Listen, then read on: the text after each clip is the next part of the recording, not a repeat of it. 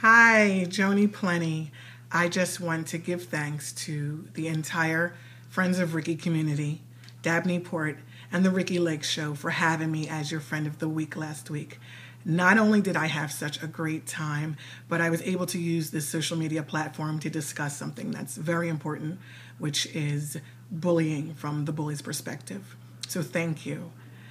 Thank you for the tweets, the Facebook comments, and all of your support. And I'm so honored to pass the torch to this week's Friends of Ricki, Friend of the Week, Kelly Kim. You are going to love her. So be sure to follow her on Twitter for her sweet tweets and the most adorable pictures of her son, Jet.